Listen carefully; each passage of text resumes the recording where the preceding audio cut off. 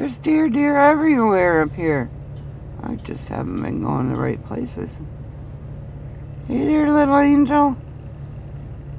You did look in. I don't even have headlights in your face, but you look frozen. What you doing? Finding good food? He's just looking.